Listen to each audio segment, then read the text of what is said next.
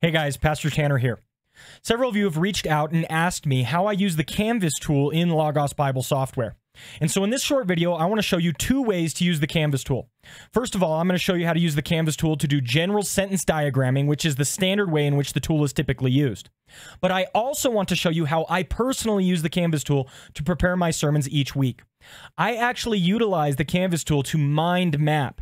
I build mind maps out of Canvas and I utilize those from the pulpit and I actually preach off of my mind maps. And so I'm going to show you how to make those as well. So without further ado, let's go ahead and jump into the Canvas tool in Logos Bible software.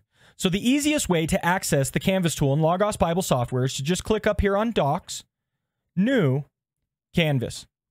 This is going to open up a fresh Canvas document. You can just title it in the upper right corner here. I'll just write test. And now it's titled. Now, the way in which the Canvas tool was designed is for sentence diagramming. If you click Insert Passage up here, you can put in your passage. Perhaps I want Psalm 8. And you can pick the translation that you're selecting out of. Here I have ESV by default, but one of the nice things about using Canvas is you can actually select the original languages as well. So if you want to use Hebrew or Greek, you can do your sentence diagramming there. But I'll just stick here with ESV, Psalm 8, and hit add to canvas. So now you can see that I have a spatial element to my chapter and verse. And with each of these verses, I can actually move these things around in order to have that focused in on in different ways, shapes, and forms. This is perfect for sentence diagramming because oftentimes you're setting off certain aspects of the passage and you're trying to point out certain things. Not only that, you have highlighting commands down here. So you can take these highlighting commands and put them over the top of some of the words that you like. And you can diagram your sentences in this way. This is the first intention behind the Canvas tool, and this is what the creators designed it for. Let me show you a finished one. So notice here that I've utilized sentence diagramming in Canvas to actually break down all of Psalm 8. Notice that there is a chiasm here. Verses 1 and 9 are the same. It form an inclusio in order to set off the chiasm of the entire psalm. O Lord, our Lord, how majestic is your name in all of the earth. And I've used all sorts of bars, highlights, setting off of the pattern so that I can actually recognize exactly what the structure of the psalm is.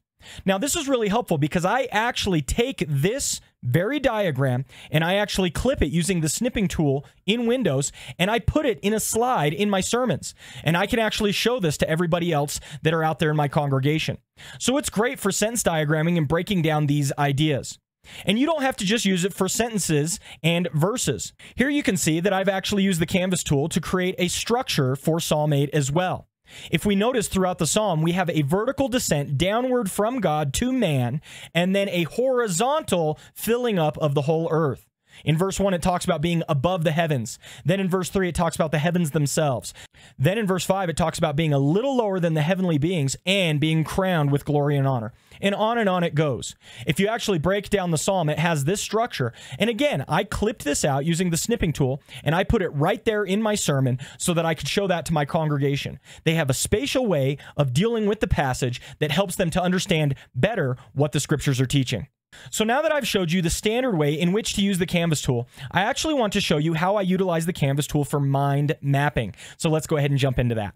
Now, what is a mind map, you might ask? A mind map is simply an outline that actually has a spatial element to it. Here's a stereotypical mind map on mind mapping itself.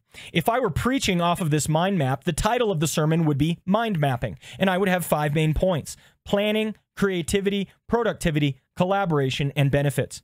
Notice that each of my main points also has subpoints, and I draw pictures and put down ideas in a spatial way so that I can get through the sermon by actually walking through the page in a sort of fashion.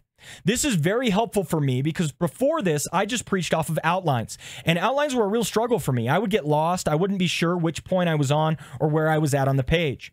I love preaching off mind maps, and once I started trying it, I never turned back because once I used mind maps, I always remembered where I was. Did I step away from my manuscript for a moment? No problem. I remember I was in the lower right corner talking about creativity, and when I step back, I'm going to be ready to talk about productivity next. That's the point of a mind map. Now, let me show you how to build these in Logos. So here we are back in Logos Bible software, and this is where I build my mind maps at. It's very helpful for you to set up your favorites and have these presets for everything that you're going to build them with. I already have them set up, so I'm just going to show you. Here you can see I have the title of the sermon, goes right in the center, Life to Come.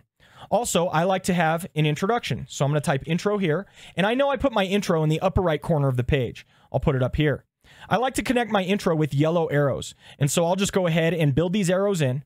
And I also like to put my Bible verse that I'm going to be preaching off of right up towards the top of the page. So let me grab a different text and put in my Bible verse. This helps me to remember what I'm preaching off of and helps me to reference that during the middle of the sermon. And so you can see that I can fill out this mind map relatively quickly.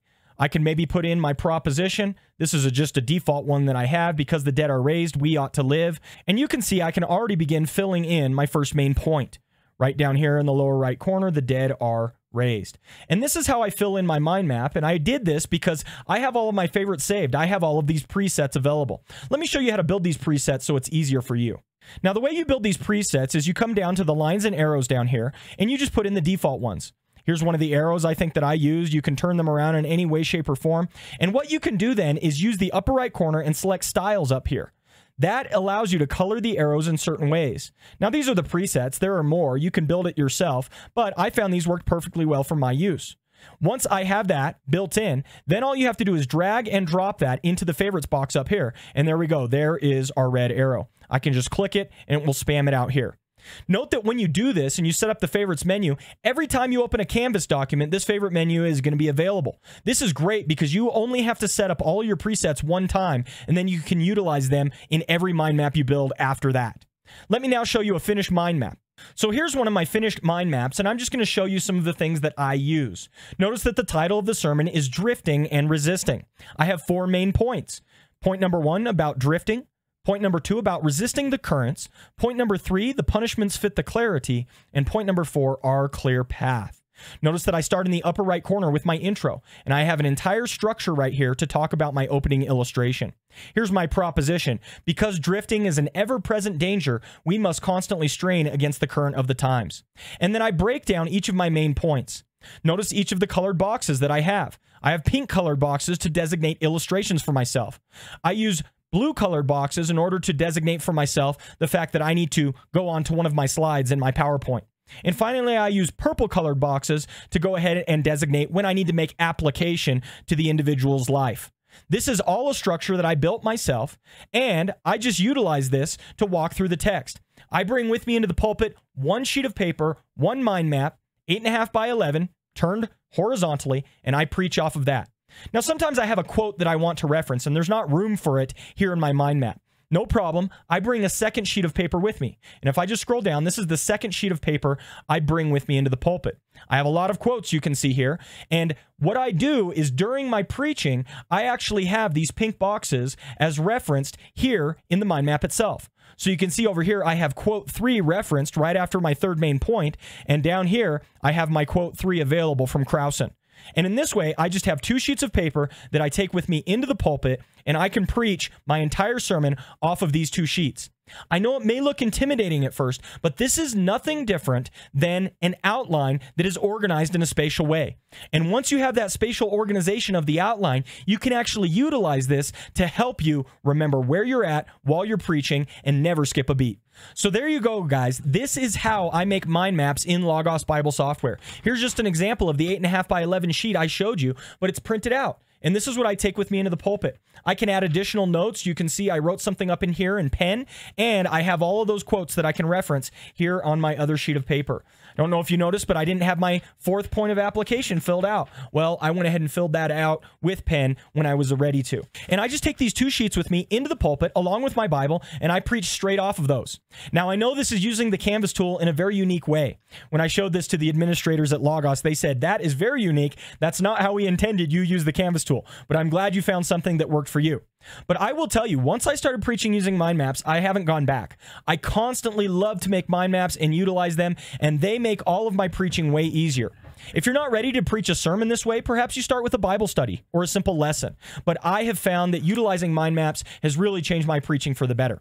That's it for this video, guys. That's how I utilize the Canvas tool. It's very easy for making sentence diagrams and putting slides into your PowerPoint presentations. And in addition, you can make those mind maps that are going to help you to preach in a better way. Thank you so much for watching this video. I hope that you are blessed. Please reach out to us if you have any questions, comments, or concerns, or you want me to cover another topic. Thank you for all of your love and support here on YouTube. We're trying to bless you in the best ways that we possibly can. Take care. God bless. Bye.